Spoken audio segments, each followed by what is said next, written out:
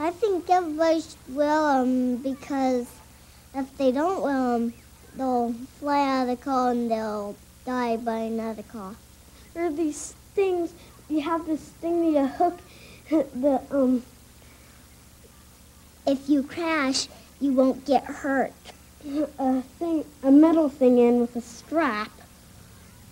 No, no, no. You put it around your waist when you get in the car. Your skin could probably zip off. They're buckled on one side. They come out on another side. When they click, that means you're safe. Oh, forget it. Seat belts. Wear them for a lot of little reasons. They make you safe. Make you safe. Hospital for Sick Children. Yeah. We care for kids.